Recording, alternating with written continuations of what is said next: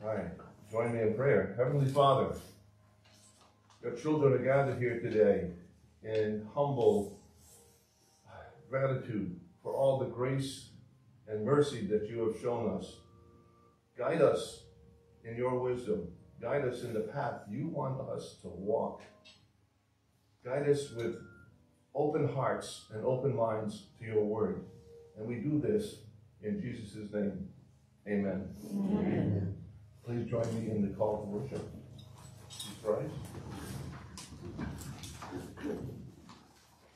It's taken from Psalm 95, verses 1 to 7. Come, let us sing for joy to the Lord. Let us shout aloud to the rock of our salvation. Let us come before him with thanksgiving. And extol him with music and song. For the Lord is the great God. The great King above all gods. In his hands are the depths of the earth. And the mountains belong to him. The sea is his, for he made it. And his hands formed the dry land. Come, let us bow down in worship. Let us kneel before the Lord our Maker. For he is our God, and we are his people of his pasture, the flock under his care. Amen. Our first hymn this morning is 555.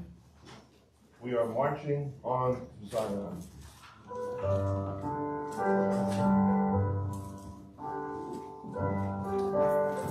We're going to start each hymn with the chorus and then the verses. Okay? Just follow me. We're marching to Zion,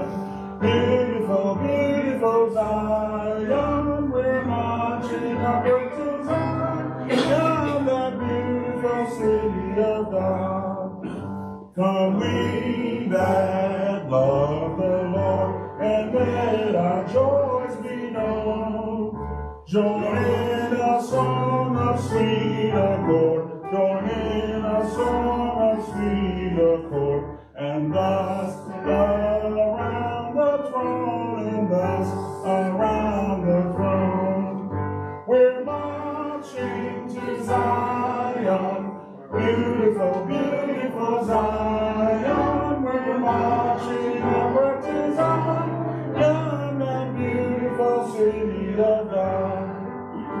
Let those refuse to sing who never knew our God. The children of the heavenly King, the children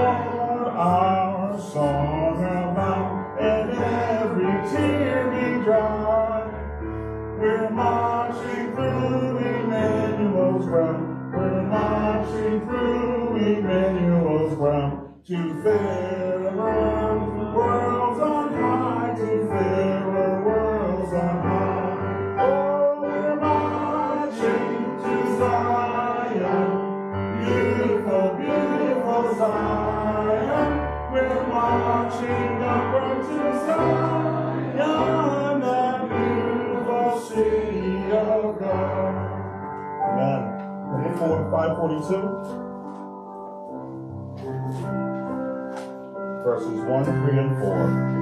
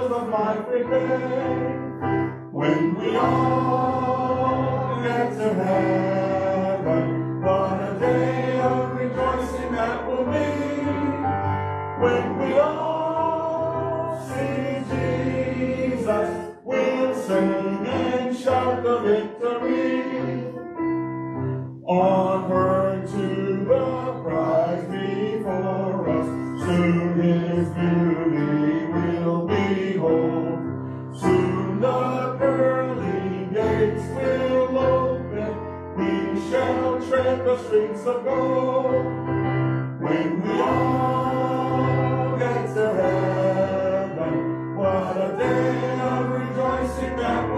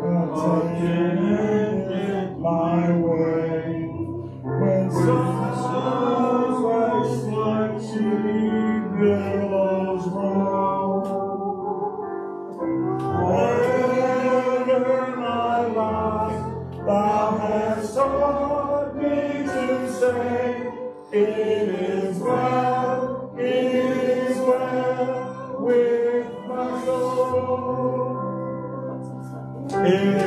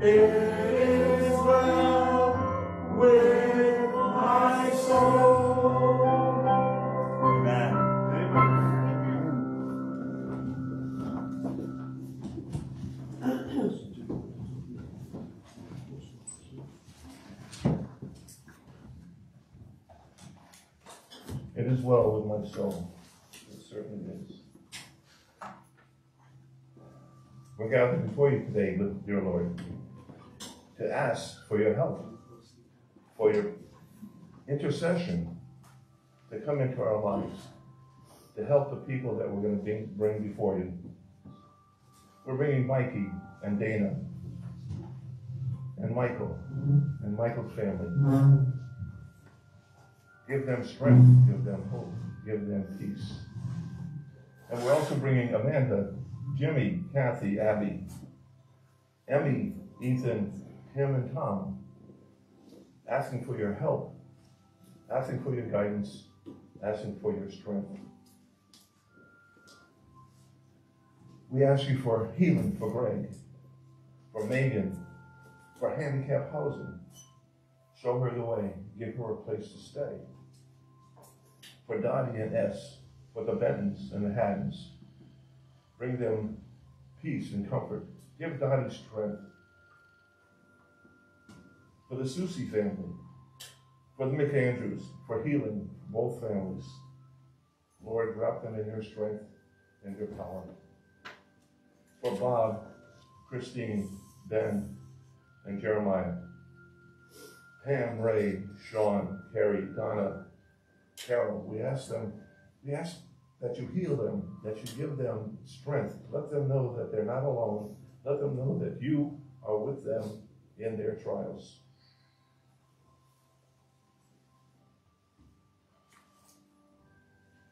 We ask you for help Dale with her financial problems.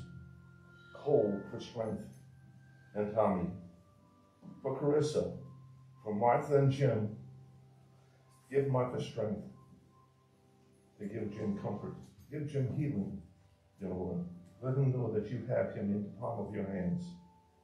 For Dottie Restegen, give her comfort knowing that she lost her young granddaughter. For John and Diane, give them guidance. Happy birthday for my beloved granddaughter Grace.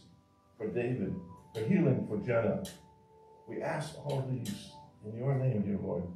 We ask you to gather them and bring them. And let us not forget Gordon and family. Bring them strength, bring them comfort, knowing that you are with them always. For healing for John, George, Bill, and Ray, and Xavier. And for Abby and Elizabeth, give them guidance. Show them the way, Lord. Show them the footsteps you want them to take. We ask all of these in your name. In Jesus' name, amen. Amen. Please join me in the Lord's Prayer. Our Father, who art in heaven, hallowed be thy name. Thy kingdom come, thy will be done, on earth as it is in heaven. Give us this day our daily bread, and forgive us our trespasses, as we forgive those who trespass against us. And lead us not into temptation, but deliver us from evil. For thine is the kingdom, and the power, and the glory forever. Amen.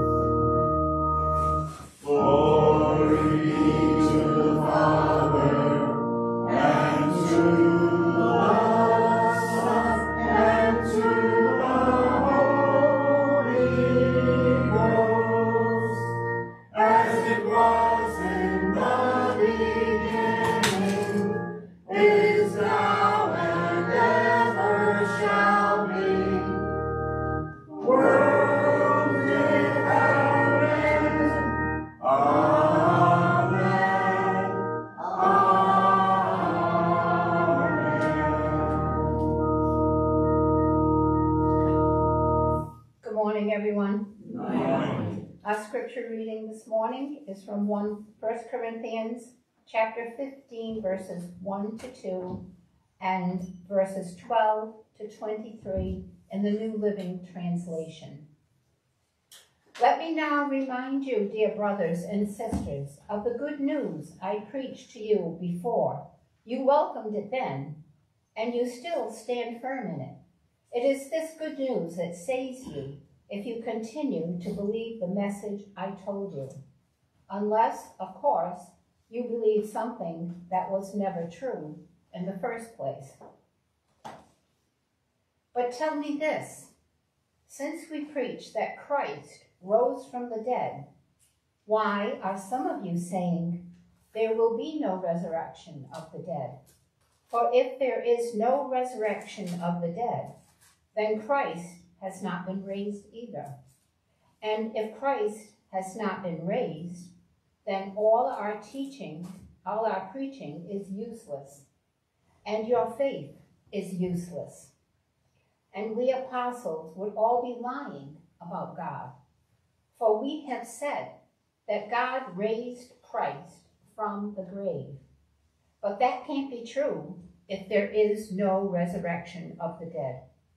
And if there is no resurrection of the dead, then Christ has not been raised. And if Christ has not been raised, then your faith is useless and you are guilty of your sins. In that case, all who have died believing in Christ are lost. And if our hope in Christ is only for this life, we are more to be pitied than anyone in the world. But in fact, Christ has been raised from the dead. He is the first of a great harvest of all who have died. So you see, just as death came into the world through a man, now the resurrection from the dead has begun through another man.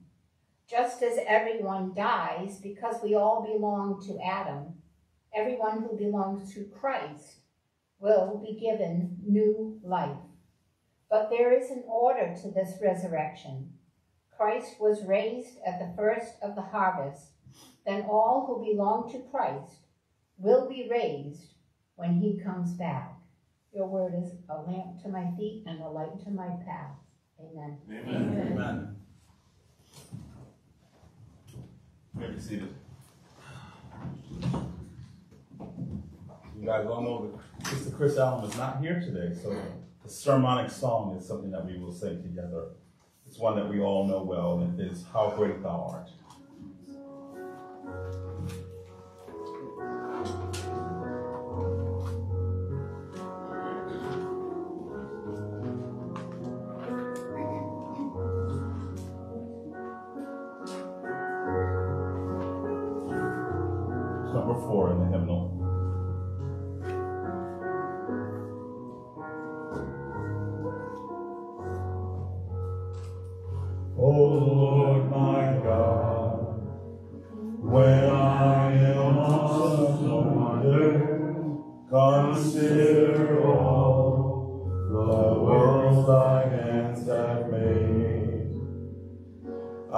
The stars, I hear the rolling thunder, thy power throughout the universe display. Then sings my soul,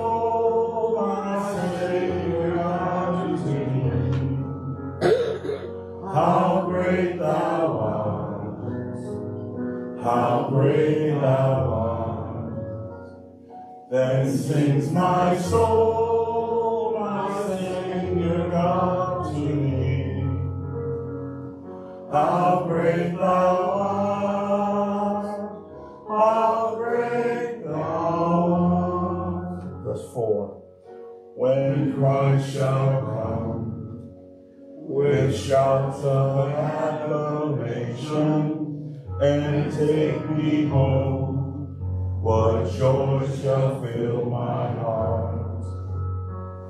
Then I shall bow in humble adoration and there proclaim, My God, how great thou art. Then sings my soul,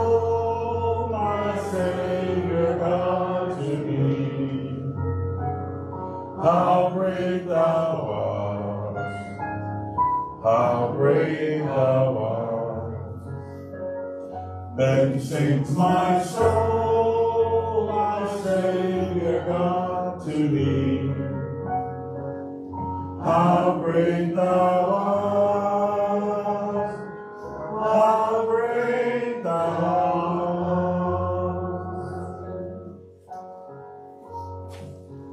Father, we come before you this morning.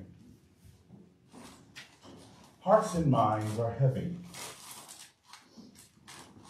But in the midst of our heavy hearts, we still acknowledge that you are great. You are awesome and wonderful. The peace that only comes from you, Father, that is the peace that we seek today. Because we know in you we have all things that we need. We remember the stories of you weeping for the loss of your friend Lazarus. remember that you were moved with compassion for the people. And even now, we know that you are moved with compassion for us.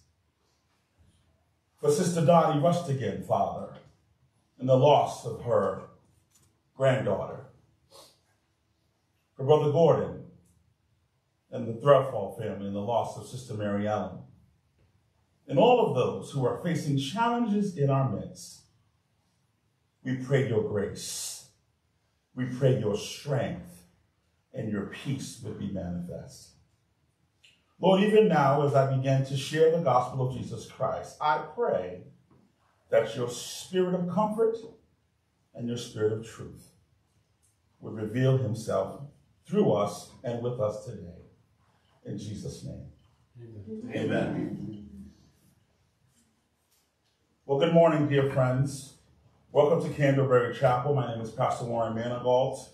It is indeed my honor to greet you this morning in the name of our Lord and Savior Jesus Christ, and to our visitors and to those joining us via social media. We are located here at 381 South Main Street in Attleboro, where faith in Jesus Christ is our foundation. Thank you for joining us this morning. The title of our message this morning is Stand Firm. Stand Firm. This past week has been very challenging here at Candleberry Chapel. Truth be told, the last several months have been difficult for a, number of reasons. We've had dear members of our fellowship face many health issues, from long COVID to RMV, strokes, heart attacks, broken hips, and several other difficult challenges with no respite in sight. This past, this past couple of months, we've lost Sister Tookie. And this past week, we lost Sister Mary Ellen and Sister Dottie lost her 29 year old granddaughter, Caroline. When we are faced with these types of life altering challenges, one may begin to wonder what's really going on. It can have a deleterious effect on your hope and your courage. And if we're not careful, other voices around us may creep in or, the, or perhaps the enemy of your soul may creep in with a seed of doubt and say things like, I thought you were a Christian. Why would God allow these things to happen to you? What good is your faith? What good is your religion? Why do you even bother to go to that chapel in the first place? Seems to me that your life's no better than mine. Why would you even bother? But you see, beloved, they don't know, and we sometimes as well forget the most important detail about life here in the flesh. And our brother Job testifies in chapter 14, verses 1 and 2, that humanity is frail. How short is life? How full of trouble. We blossom like a flower and then wither like a flower. Like a passing shadow, we quickly disappear. This happens to all of mankind and to all created things, not just to Christians. But the difference between the world and those of us who are Christians, those of us who are Christ like, followers and believers in Jesus Christ, is exactly that. We have Christ, the source of life eternal. Yes, our physical earthly lives may end in a whisper or a vapor, but our eternal lives continue because of Christ. What we have that makes us different from the world is that we are of Christ. Remember what Jesus himself said in John 16, 33. He said, I told you all that this in advance so that you will have peace. In other words, before he was leaving his disciples, he said, I'm warning you ahead of time that you're going to face some challenges in life. And I'm telling you now so that when the challenges come, it does not discourage you. Here on earth, you will have many trials. You will have trouble. You will have sorrows. But take heart. Be of good cheer. Be encouraged, believe it, beloved, because I have overcome the world. Don't let the trials and struggles of life discourage you because you are of Christ. Yes, this life is a vapor. Yes, you will have pain and aches and, and trouble and tribulation, but God is greater than your trouble. Did you hear that, beloved? While you live on this earth and you dwell in this body, you will have troubles, trials, struggles, challenges, disappointments, discouragement. Some so devastating, in fact, they will rock you to your core and shake your very faith. But be of good courage. Remember to hold on to your faith and the promises of God. Stand firm in Christ, the hope of our glory, the rock of our salvation, our Redeemer and soon coming King, who will reward all of us who do not give up or and or give in to our doubts or to our humanity. But instead, we should stand firm. This is what Brother Paul the Apostle was saying to the Corinthian church and to the church today. In our text in uh, 1 Corinthians 15, 1 through 2, he describes how the gospel is the benefit for man. Did you know that the gospel is a benefit to you? Did you know that the gospel is a good thing for you? Amen.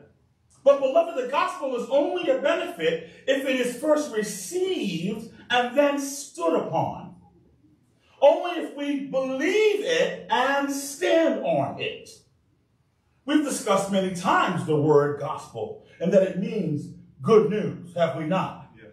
As the word is used in ancient times, it didn't have to describe the salvation in Jesus Christ at all. It simply meant good news. But we, as followers of Jesus Christ, we know that we have the best good news ever. And that's that we can be saved from our sins in this life and the punishment we deserve from God because of what Jesus did for us on Calvary and because Jesus was resurrected and now sits at the right hand of God. That, beloved, is the good news. The gospel that we are standing firm on today and will stand on for all eternity. God said what? Heaven and earth will pass away, but my word will go on forever. Amen? Amen.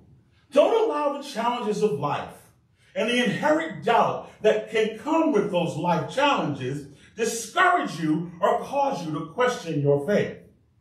The number one tool in the arsenal of the enemy of your soul, that's Satan, by the way, is doubt.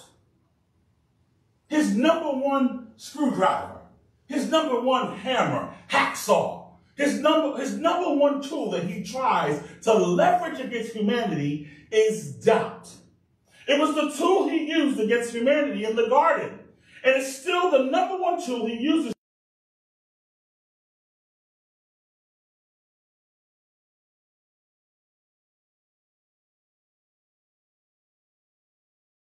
the snake that he is and tries to sow seeds of doubt in your spirit.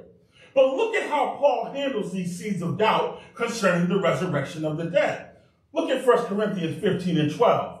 But tell me this, he says to the Corinthian church. Since we preach that Christ rose from the dead, why are some of you saying there is no resurrection from the dead? You see that, beloved? Why are some of you doubting the gospel that we preach on which your whole salvation is standing? He's asking. He goes on by following their flawed reasoning of doubt and says in verse 13, For if there is no resurrection of the dead, then Christ has not been raised either. And if Christ has not been raised, then all of our preaching is useless and your faith is useless. He goes on. And we apostles would, would all be lying about God. For we have said that God raised Christ from the grave. But that can't be true if there's no resurrection from the dead. You see this, beloved? This seed of doubt that had crept into the Corinthian church about the resurrection is no small thing. That's right, beloved. Doubt is no small thing.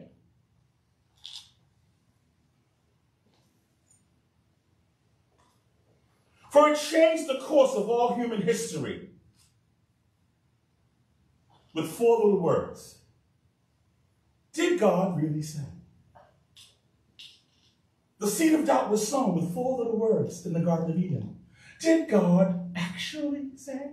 Did God really say you may not eat from any tree of the garden? That was a seed of doubt.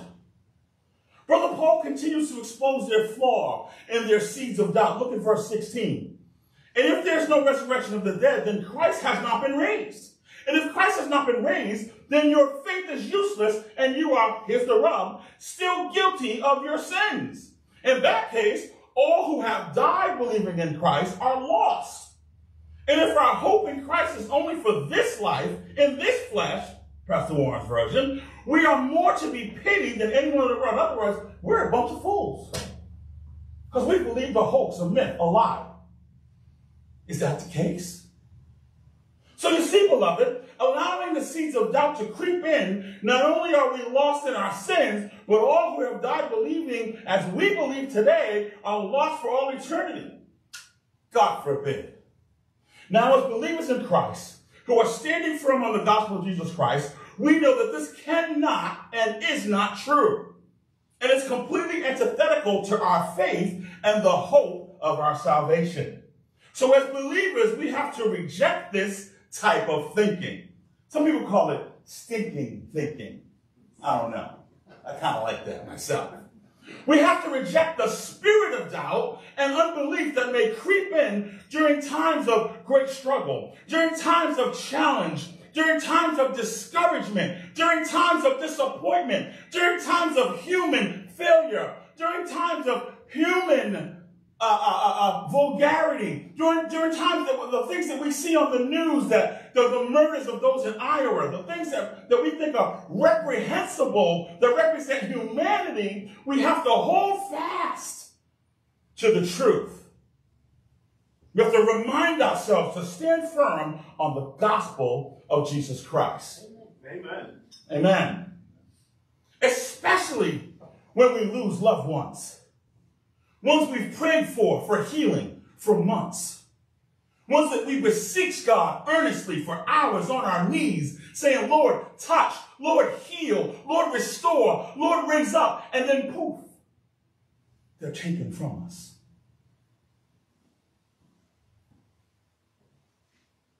We must look out and watch out for the seeds of doubt.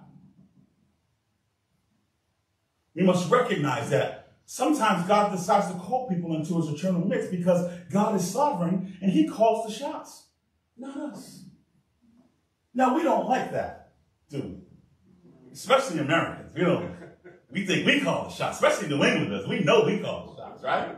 The revolution started in Boston, didn't it? But we must remember that even though they are not with us physically, they are with God in glory. And the same Spirit of God that is in heaven is the same Spirit of God that is in you. So even now, we are still with them. Amen? Amen. And all the saints who have died and gone before us, who stood firm in the gospel. And we too will join them, even when we pass from life through death Notice I said not into, through death. Because death is simply the gate, the portal through which we enter into eternal life as Christians. You do realize that, right? Yep. Death is simply the door. It's the passageway that brings us to our eternal inheritance. Now, we don't like to go through that door, do we? But it's a door that we will all go through as humans, nevertheless. Even Christ himself went through the door of death. Did he not? So we will all pass from life through death. Or when we are raptured alive by Jesus Christ at his second advent, his second coming.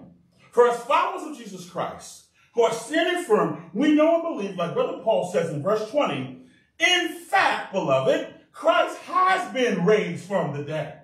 He is the first of the great harvest of all who have died. Yes, Christ is the first resurrected, glorified body, and we will also be resurrected with glorified bodies as well. But that body, by the way, looks very much like the body you have today. Some of us are like, boy, I'm disappointed. I wanted a better one. I want a one with a little less fat on it, don't you think? But we will be resurrected with glorified bodies that look very much like we look today. But but but but, but beloved, These bodies will be eternal, never again to see corruption, never again to see sickness, never again to see death. Bodies that will enable us to be in the pure, holy, sinless presence of God Himself. 1 John 3 2 says it like this Dear friends, we, all, we, we are already God's children, but He has not shown us what, will be, what, we, what we will be like when Christ appears. But what we do know is that we will be like Him, for we will see Him as He really is. Remember the story of the transfiguration when Jesus went up and was transfigured and the prophets appeared to him and the disciples, uh, Peter and John were there beholding the transfiguration and Jesus looked like blinding light? Think about it that way. We will see God as he really is. But in order to exist, in order to be in that presence of God, we need different bodies than we got today. Amen? Amen. This is what we're standing firm in as believers in Christ. Don't let doubt move you from your faith in God. Don't let the death of loved ones cause you to doubt that God is the God of your salvation. Brother Paul makes this so plain in 1 Corinthians 15, uh, 21 to 23. He said, So you see, just as death came into the world through a man, now the resurrection from the dead has begun through another man. That man's Christ Jesus, by the way. Just as everyone dies because all belong to Adam, that means we're human beings, right? Everyone who belongs to Christ, Christians, will be given new life. But there's an order to this resurrection. Christ was raised as the first of the harvest, meaning as our example, as the first among us, right? Then all who belong to Christ will be raised when he comes back. Amen? Amen. Beloved, this is the gospel that we have believed, and this is the gospel on which we stand. So I implore you today, in the name of the Lord and Savior Jesus Christ, stand firm. Do not allow the discouragement of life or the sorrows of death lead you astray. Don't allow those who, do not know or know your God or have faith sow seeds of doubt in you. Don't allow those who are far away from God to explain God to you. Don't allow those who do not know our God or belong to Christ lead you away from him. Stand firm in the gospel of your salvation. For I tell you truly, when the Son of Man comes in all his glory, will he find you in faith in the earth. Amen. Amen. Amen.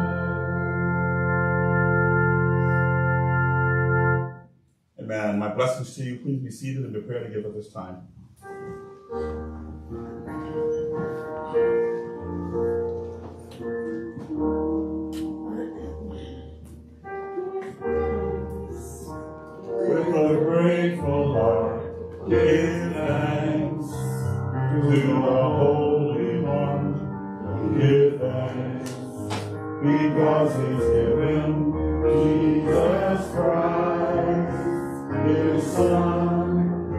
Give thanks with a grateful heart. Give thanks to the holy God. Give thanks because he's given Jesus Christ with Son.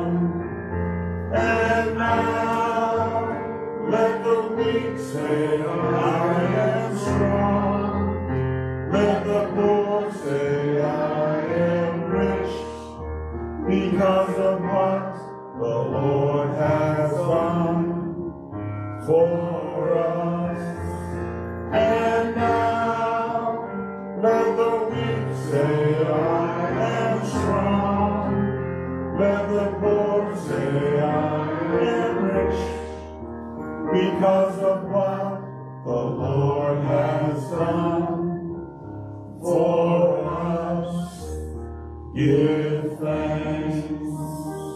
Our great and awesome God, we come before you with the gifts that I hold in my hands. But not only with these gifts that I hold in my hands, but with our very hearts and our very lives. What I hold in my hand represents a portion of the labor of our lives throughout the weeks and months that have passed. But before we had seed to sow, Father, you gave it to us. And so we simply return it to you in obedience. We sow it into this ministry so that the gospel of Jesus Christ would be preached from this place and beyond. And we pray, God, that we would be sowing into good ground as we stand firm on the gospel of Jesus Christ. Breathe on this. Let it be magnified for your glory and for your honor. In Jesus' name, amen. Amen. For this reason, my beloved, I kneel before the Father from whom every family in heaven and on earth derives its name. And I pray that out of his glorious riches he may strengthen you with power through his Spirit in your inner beings, so that Christ may dwell in your hearts through faith. And I pray that you, being rooted and established in love, may have the power together with all the Lord's holy people to grasp how wide and long and high and deep is the love of Christ, and to know this love that surpasses knowledge, that you may be filled to the measure of all the fullness of God. Amen. Amen. Please join me for our closing hymn, Majesty. Majesty,